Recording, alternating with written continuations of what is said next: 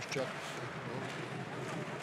Обладатель, кстати, одной из самых длинных дисквалификаций в истории Национальной хоккейной лиги. Чуть позже об этом, а момент сейчас был. И только ценой нарушения правил, на самом деле, отстояли ворота свои э, хоккеисты э, Медвежчака. Выход 2 в 1 и придерживали сзади Дарвинша.